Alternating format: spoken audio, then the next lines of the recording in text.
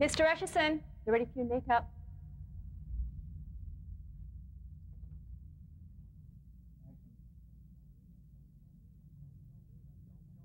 Don't tell me that makeup artist isn't from Disney.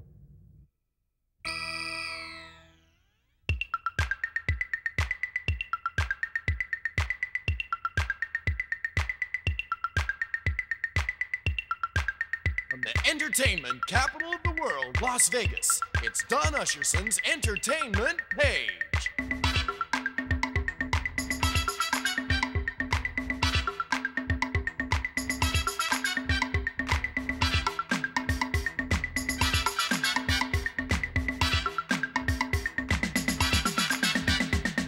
And now, your host, Don Usherson. Good evening. Tonight, my guests are three magnificent symbols of Las Vegas show business greatness. One personifies the glitzy, glamorous side of the world famous Las Vegas production show. Tropicana showgirl Debbie Lee has put on her costume and strutted across her stage more times for more years than any other showgirl, 20 to be exact. All the excitement, talent, and beauty of the contemporary wave of entertainment here is represented by the incredibly gorgeous vocalist Debrae. But first up is the man who has played more shows and sold out more seats in this city than any other performer ever, and stands as the epitome of the consummate Las Vegas headliner. His name is like a picture worth a thousand words that say Las Vegas. The Midnight Idol, Wayne Newton, when we come back.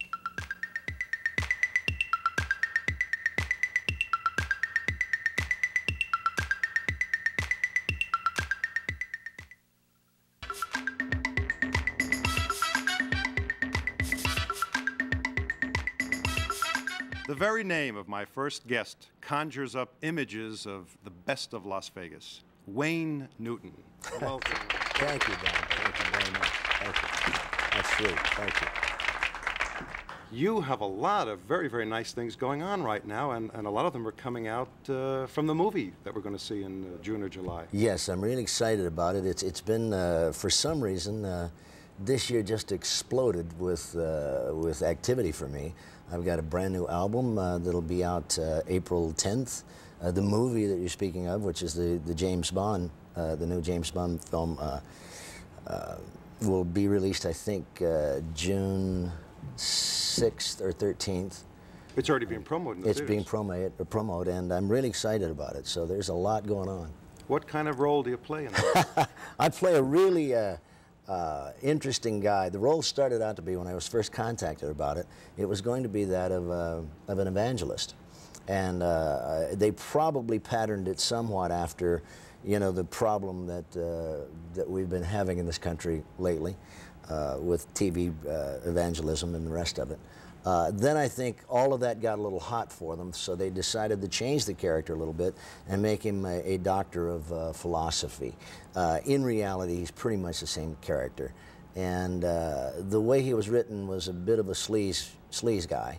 Uh, I, I gave him, I hope, a little bit of likability. Uh, and so when, once we got to Mexico and we're shooting it, some of the lines and attitudes changed about him, which were very nice. And, and he was kept alive at the end of the film, so I don't know whether it's going to be an ongoing character or not. he is the villain, though, isn't he? He is a villain. He's not a real heavy villain. You know, he's not like uh, Robert Davi, who's also in the film.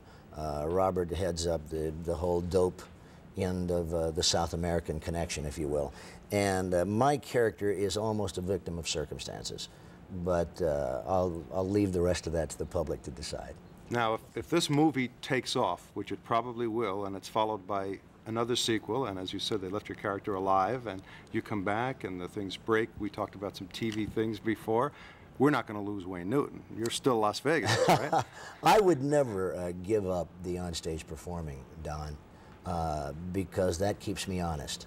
You know, in, in film and, and in records and, and uh, television, you, you can fake it to a certain extent. If things aren't going right, there's always a cut, less edit. On stage, what goes down, goes down. And uh, so I've always felt that that, that edge that, uh, that the onstage performing gives me uh, makes the rest of it work for me. And so I would never give up the onstage performing, but I would, uh, I would like to do more film, and, and we've got about four or five scripts now that we're looking at, and offers for them, which is really nice. So You, your, your career in Las Vegas is, is really kind of a very special thing that happened here. And because most of the people who become superstars here were before they came here to headline.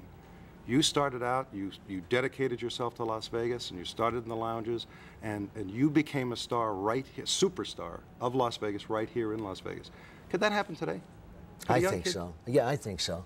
I think what happened to me is the reason that I uh, that I started putting so much effort and energy into uh, the onstage performing, which of course this is the mecca of, uh, was because I was convinced that I was never going to have a hit record. I uh, had been, I had recorded for about uh, four or five different companies when I came to Las Vegas at the age of 15, and nothing happened, and uh, I kept getting those releasal schedules, you know, with a little line says our releasal schedule does not include you. So uh, I just devoted my efforts and energy to on-stage entertaining, and uh, of course, there's no better place in the world to learn it than here.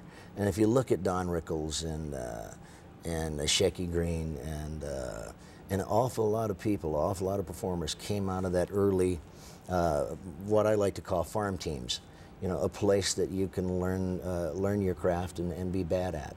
You, th- you think that whole lounge thing that used to be so great, do you think that'll ever come back here? I think it has to come back. I think uh, as long as, as Las Vegas and entertainment are synonymous with each other, I believe that when the hotel management starts to look to where the stars are going to be coming from to replace those that are here now, including myself, uh, I think they have to realize that they have to reinstitute that lounge uh, and give performers a place to learn it because that's the only place they're going to learn it. And uh, interestingly enough, if they don't, when this phase of show business is over, I'm not convinced that there's anybody coming either from the record end or from rock and roll or from television that understand what the, the saloon singer and the nightclub performer is all about anymore. It's almost a uh, um, endangered species. Who was, who was the most important person in your career? Oh my God, Don, I, I had, in a very short period of time, three or four people that were very integral parts uh, of my life and career with no proprietary interest at all. One of them being Jackie Gleason, who gave me my first uh, network television break. Uh, I had no hit record. I wasn't even recording at the time that I did that show. And that was just unheard of. Then along came Bobby Darin, uh, who A&R'd my first uh, record sessions in terms of the hits that I had uh, early in my career. Then along came Jack Benny, who, who brought me into uh, uh, Nevada, brought me back to Nevada because in those years, when you were important to a lounge uh, operator in one of the hotels, you never got out. In other words, it was impossible to go from downtown even to a strip lounge, much less downtown to a main showroom. It was just unheard of. And uh, so Mr. Benny brought me back to Nevada after I'd quit lounges. I said I was never going to work in lounges again in Nevada. If that was going to be my career, I was going to give it up. And uh, he brought me back to Harrah's a, a year later in the main showroom, which would have probably taken me uh, three or four years to accomplish without him. And so uh, those people, you know, from Lucille Ball to Danny Thomas to, to those people that I've mentioned, uh, were all very integral parts of my career. So there were big names involved in. And, and big people. I mean, big people from the standpoint that the bigger they are, the nicer they are. And I don't think you can survive this industry uh, for the uh, number of years that they did and not be really quality people. We'll be right back with Wayne Newton in a second.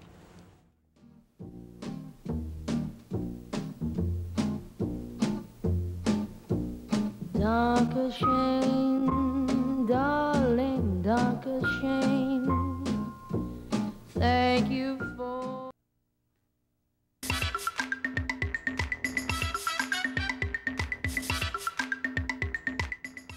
We're talking with the Midnight Idol, Wayne Newton. You mentioned Elvis Presley. Yes.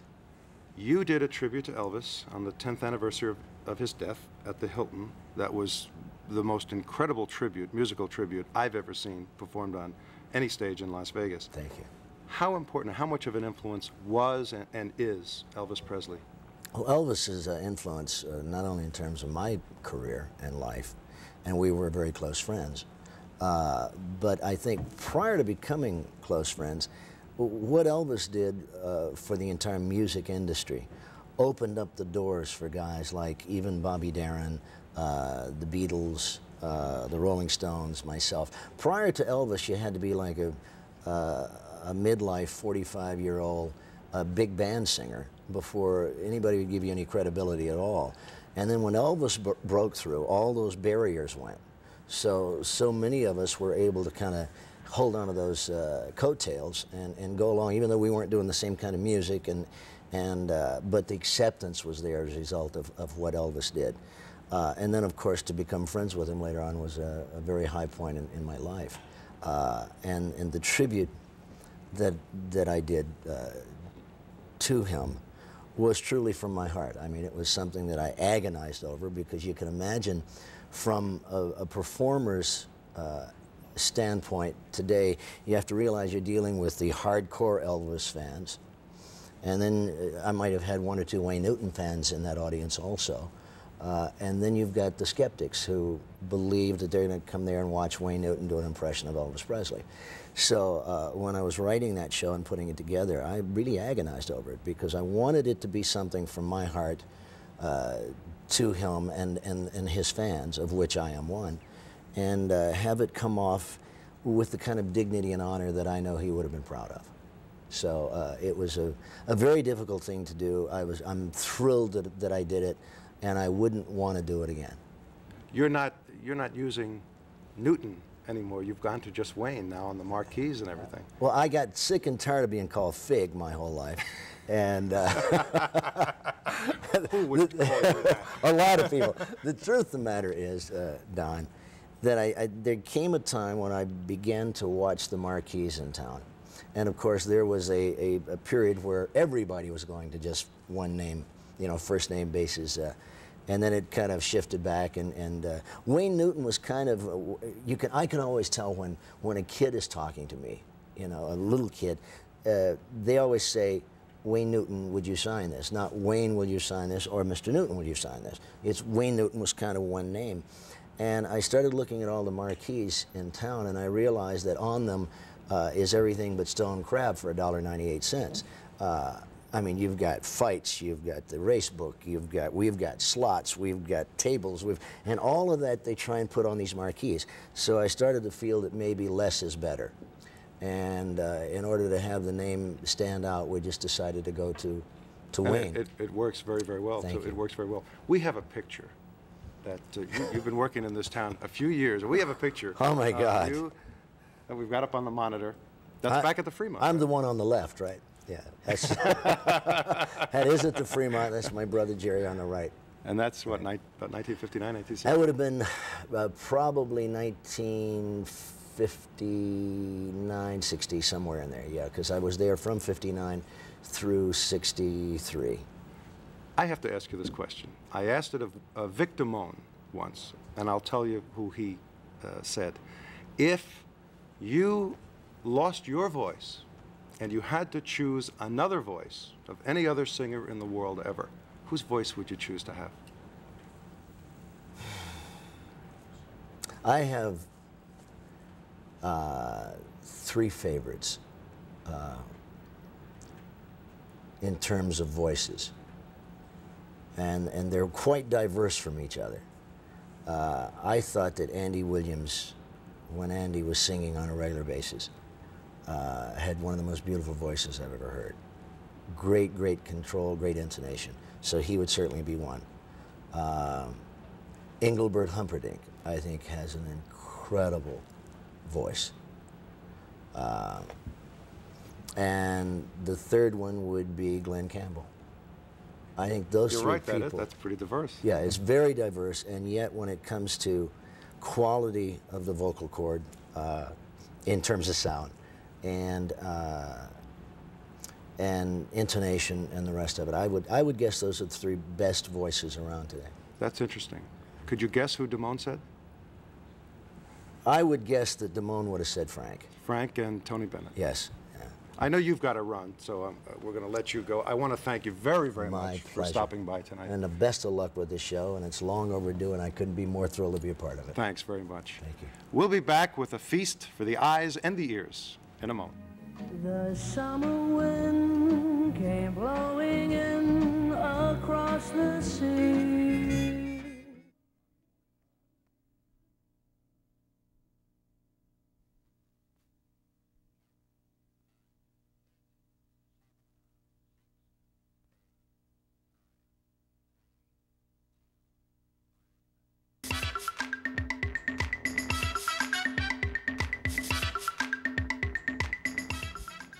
I'm not even going to try to describe how my next guest looks or sounds.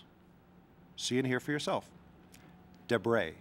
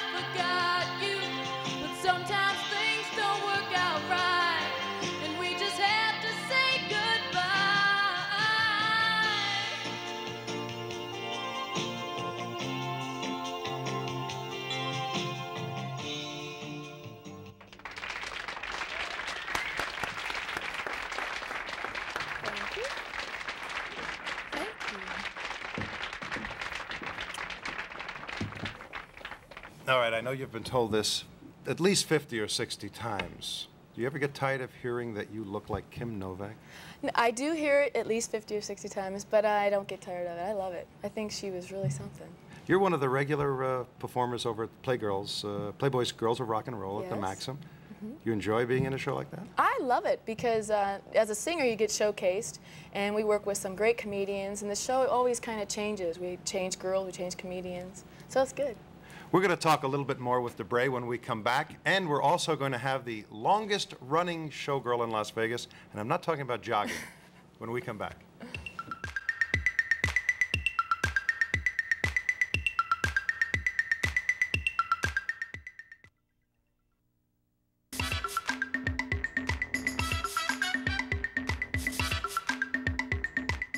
Debrae and I have been joined by Debbie Lee, who was a showgirl at the Tropicana in the Folies Bergère for 20 years. That's right. Is it still fun?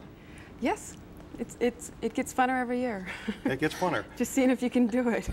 When you and I worked at the Tropicana about, together about four or five years ago, you were the most outspoken advocate of changing and improving the image of the showgirl.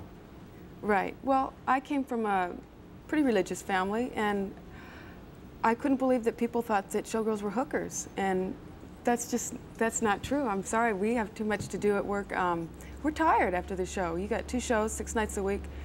Um, you don't need it. We're making good money, and it's just not our style. And How, how has the role of the showgirl changed in the last 20 years? um, just before I came into the show in 1969, I hate to say that, um, the, um, most of the showgirls were like, um, they came on before the headliner. They did a couple numbers.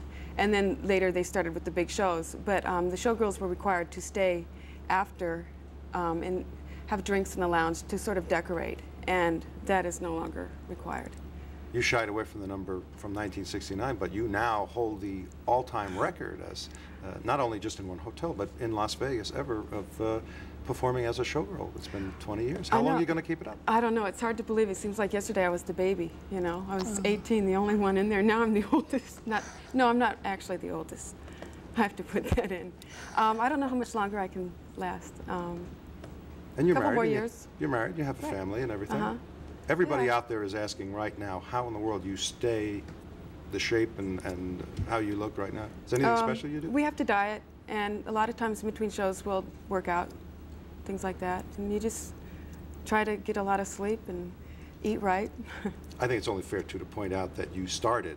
You were very young when you started out. right, I was 18. I mean, we don't want was to give we don't want to give anybody the impression that I was you know you were 30 when you started out. Boy, she looks great for 55. What? Hey, that's all right. well, you do look great for 55.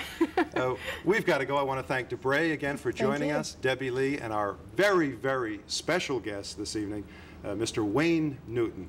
We'll see you next week. Good night and thank you.